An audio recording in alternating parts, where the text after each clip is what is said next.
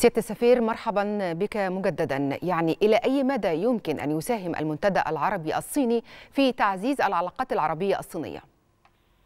آه ما فيش شك أنه كل المجتمعين الصين والدول العربية في بكين آه اليوم آه هذه الأيام آه في آه خطتهم أنهم يحققوا دفعة جديدة للعلاقات يرتقوا بمستوى العلاقات. نعم. إنه يتركوا مجالات جديدة لم يتم طرقها من قبل.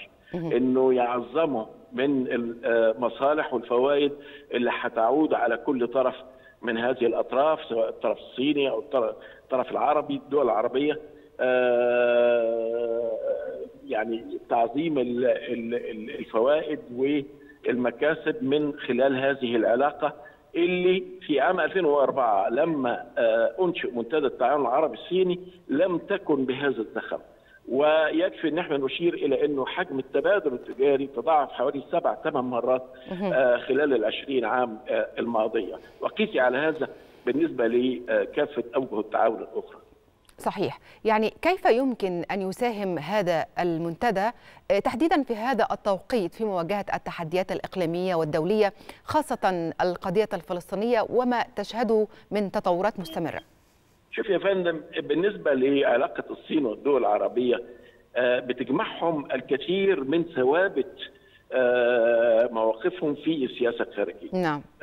مفيش تضارب مصالح فيما يتعلق بالقضية الفلسطينية، بل بالعكس في تطابق. حتى أنا مش هقول انها تشابه إنما في تطابق لو خدنا البيانات اللي بتصدر من الجانبين هنلاقي إنه هناك اتفاق تام على ضرورة السعي لحل جذور مشكلة الشعب الفلسطيني وإن لن يتم هذا إلا من خلال اطروحه الدولتين نعم. وتاسيسا على حدود 67 مع القدس الشرقية كعاصمة للدولة الفلسطينية. وحتى خلال هذه الفترة فترة حالية هناك اتفاق تام بين الصين وبين الدول العربية فيما يتعلق بتناول الأحداث اللي بتشهدها أو يشهدها قطاع غزة منذ شهر أكتوبر الماضي. توافق في الرؤى. مش مش توافق هو تطابق في الرؤى.